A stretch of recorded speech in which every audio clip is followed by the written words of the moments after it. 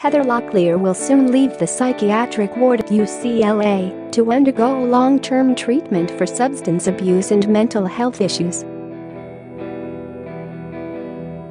The troubled actress was placed under a 5250 hold, where a clinician can involuntarily admit a patient for up to 14 days earlier this week. A source linked to Locklear's family told TMZ during her time at the hospital, doctors performed a number of tests to try and understand her recent behavior. They concluded the Melrose Place star was suffering not just from substance abuse issues but also from mental health issues. Locklear has agreed to voluntarily check herself into a long-term treatment program, though some close to her are concerned this means she could check out at any time.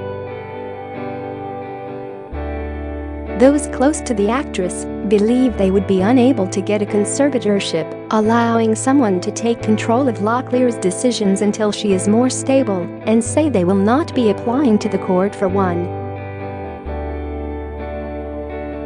Locklear was arrested on Sunday night after downing a bottle of tequila and crashing her Porsche into a pylon on the grounds of her California mansion, Daily Mail revealed last week.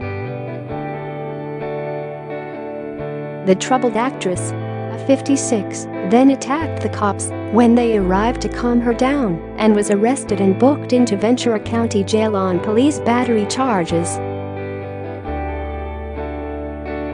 Share this article Share She was released on Monday morning, but was rushed to hospital a little over six hours later after allegedly taking an overdose.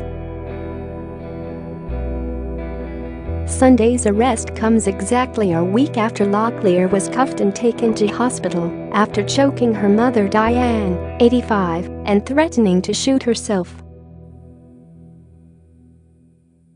After being released from hospital on Tuesday, June 19, the troubled Melrose Place star allegedly checked into a detox center but checked herself out again after completing just two days of a five-day program. On the way home from the detox center on Sunday morning, she purchased a bottle of tequila which she drank before later attempting to drive off in her Porsche.